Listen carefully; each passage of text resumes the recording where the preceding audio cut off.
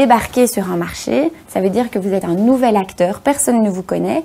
Et si vous avez des litiges ou des sanctions dès que vous démarrez, après, pour rattraper ça d'un point de vue image, d'un point de vue réputation, ça va être très compliqué. Donc là, vraiment, faites la balance, regardez un petit peu euh, ce que vous décidez de consacrer comme budget par rapport aux risques que vous prenez.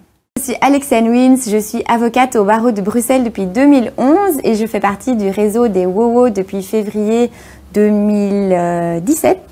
J'ai créé mon cabinet d'avocats indépendant en juillet 2016 et depuis, j'assiste les sociétés en Belgique, surtout les TPE, les indépendants et les euh, PME, à se développer et à justement comprendre tout ce qui se passe autour du droit de l'entreprise.